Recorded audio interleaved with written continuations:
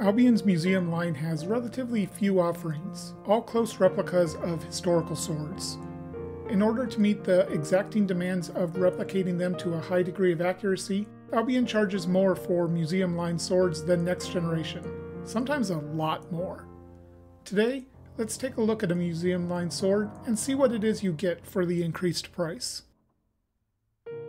Hello, this is Kyle, also known as Alientude, and in this review I'll be covering the Albion Museum Line Tritonia paired with the DBK Scabbard, both on loan to me from my extremely generous friend Steve. If you like this review, or any of the others featuring swords he's loaned to me, please thank him in the comments below.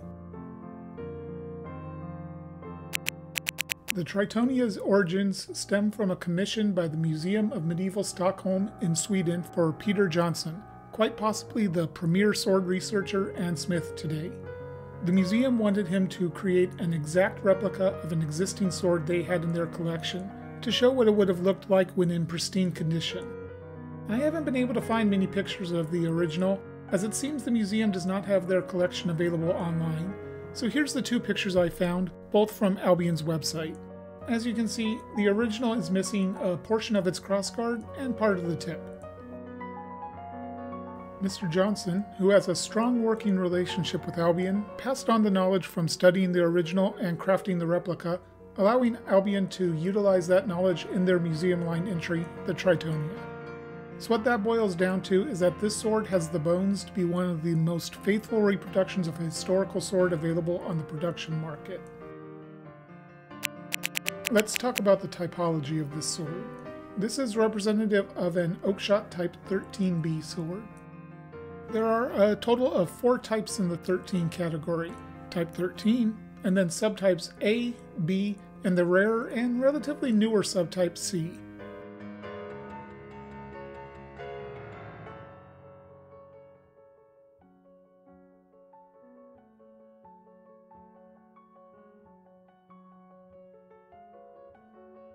The differences between these types and subtypes are minor.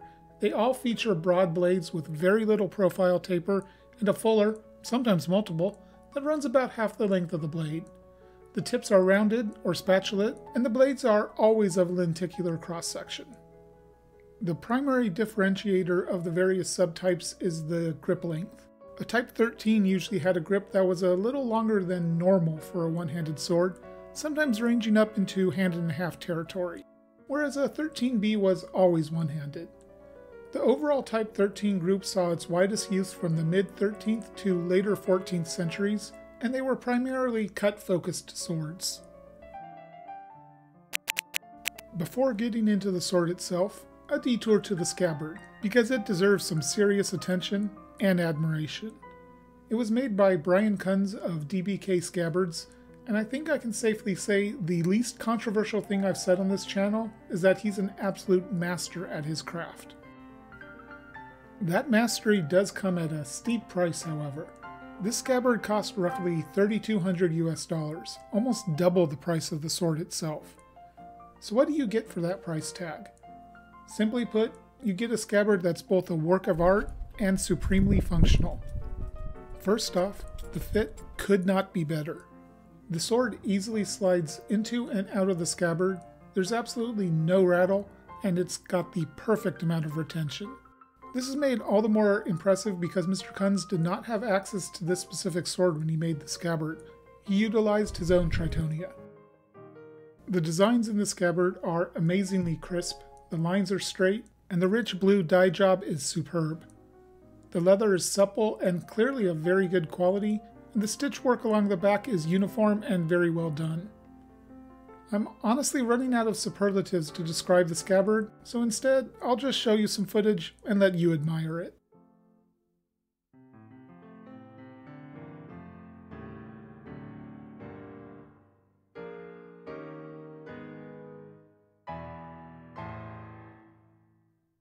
Moving on to the hilt, let's start with the crossguard. It most closely resembles a Type 2 guard, with a gentle flare out to a rounded rectangle at the ends of the quillons. It's got a satin finish, with the polishing line still quite visible. Personally, I would prefer to see it brought to a slightly finer finish than this.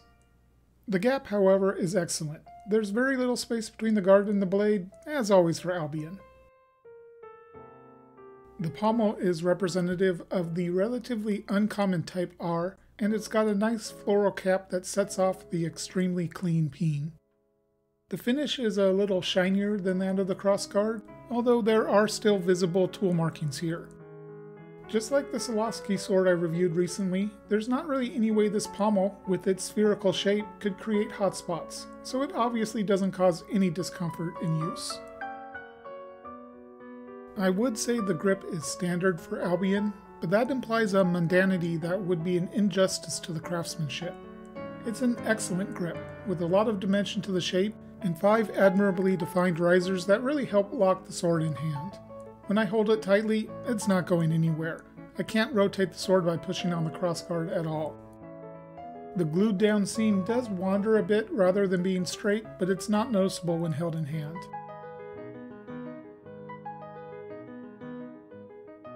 And now it's time to talk about the business end, the blade. As per usual, here's the measurements I took of it.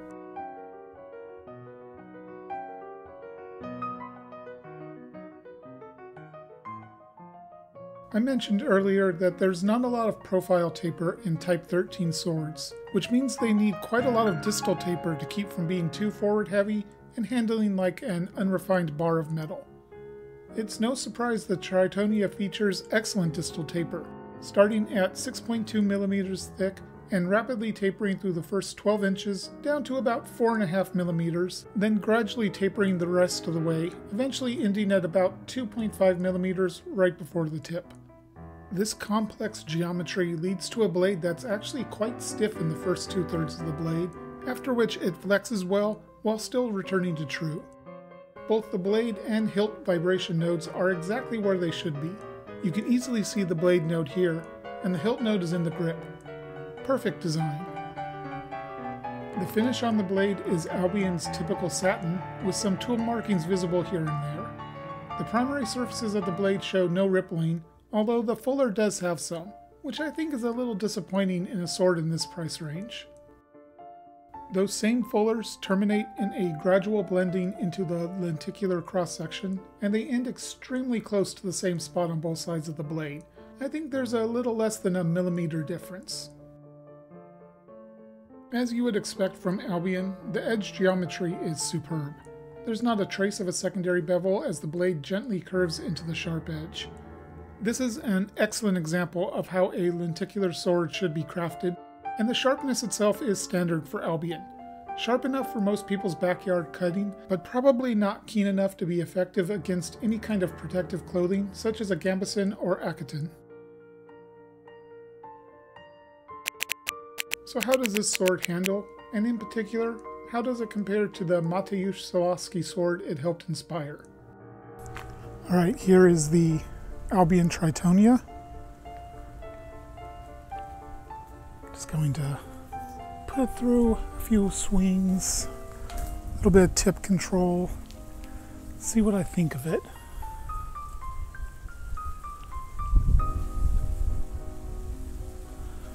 Got pretty good tip control actually, which is kind of surprising to me when you consider the tip weight. It's pretty hefty. Not a light sword. And much like the Mateusz Sulowski sword, I believe this was intended as a cavalry piece, something that you would deliver heavy strikes on horseback. Not really a dueling sword, something that you want to, you know, nimbly move around. You're more concerned with power with this. Let me uh, pick up the Mateusz Sulowski sword.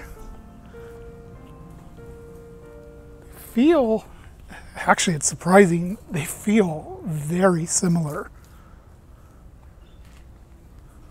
I think I have a bit better tip control with the Tritonia, but not a lot.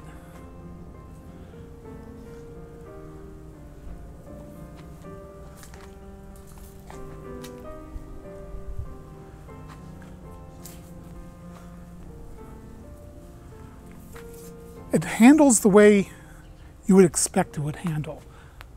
It's not, let me put it this way, it's not like the Ronin katana I uh, reviewed just uh, recently where it felt awkward to swing around and it felt like all the weight was out in the out near the tip.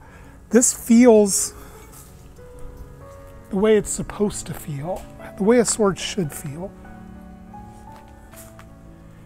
Doesn't mean it's not heavy, doesn't mean it's a light dueler, but it doesn't feel like a sharpened crowbar. Pick up the Mateusz Sulowski again. This one definitely does feel, this one feels like it has a bit more heft to it. I'm not even sure what the, you know, where the point of balance is between, comparatively between the two of them. This one is definitely broader. Let me actually pick them both up and see if you, yeah. The Sulowski is definitely broader. Looks like they're about the same length, maybe a little bit longer, it's hard to say. The Sulowski has a much more acute point. So you can see that. This is a little awkward holding two very hefty arming swords like this. You would certainly never want to try to dual wield with these two, that's for sure. But they actually, they feel surprisingly similar, which is interesting since they are, they actually have a decent amount of difference in their geometry. But you know, the Tritonia is one of the swords that inspired this Sulowski, so it probably does make sense. I think I like the grip on the Tritonia a bit better. Not having that uh, stitched seam. I Stitched seams uh, generally, I'm not as much of a fan as the glued seam that you'll see on Albions.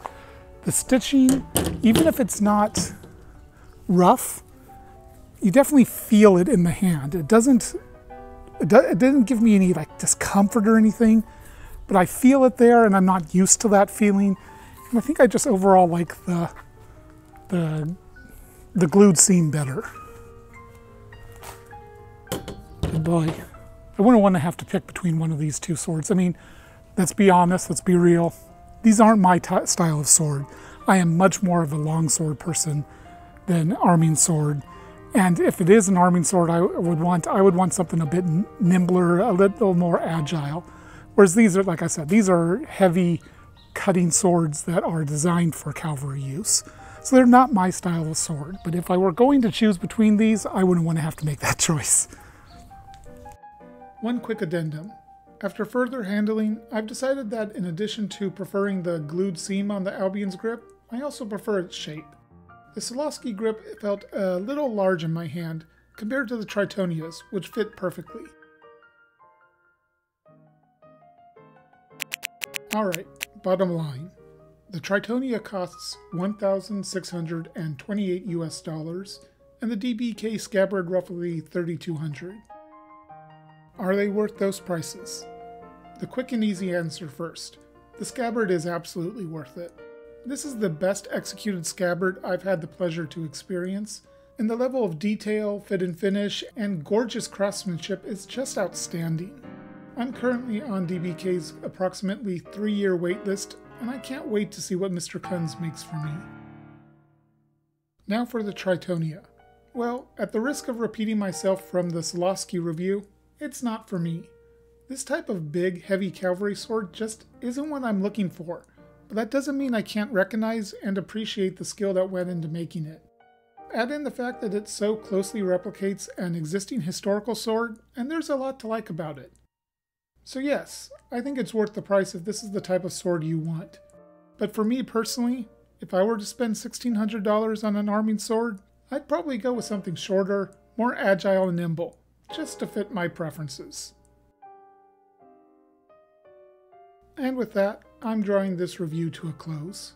Once again, I extend my heartfelt thanks to Steve for his generosity in loaning me such exquisite swords. And the good news is, there's more to come. But that's for another time, and until then, Alientude out.